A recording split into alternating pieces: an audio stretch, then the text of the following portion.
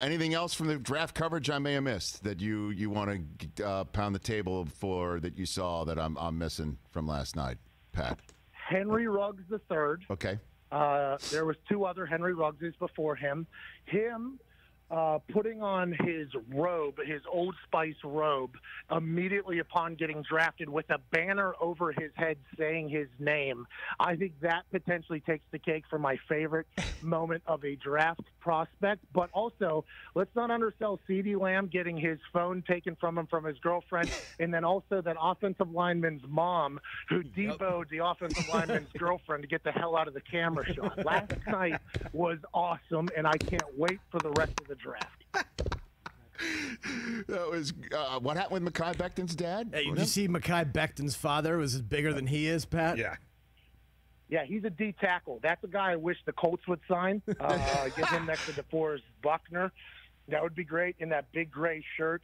He looked like he could get out on a field and clog up some holes if he had to. And I think um, this year, uh, the draft, I thought you guys were going to have a lot of problems over there at the NFL, to be honest with you, because we deal with the internet technology on a daily basis Yes. over here, as are you with YouTube and everything. I think it was very well done by everybody, including Roger Goodell, with a costume change in the middle of that thing, and then hyping up the Zoom crowd every single time. I, I really think it was well done, top to bottom. It was, man. And uh, again, uh, Pat, would you want to you want to join the the uh, draftathon live tonight?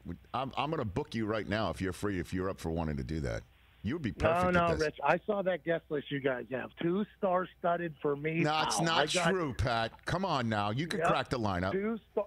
You could crack At the some lineup. point last night, we were live, McAfee and Hawk, and you guys were live. Yes. I think you had Kevin Hart, Yes. The Rock, DJ Khaled, No. Tom Brady on there at one point, and it was me and AJ Hawk smoking vitamins and cigars right next to it. It's a different world that you have I know it's a different over there. vibe. I know.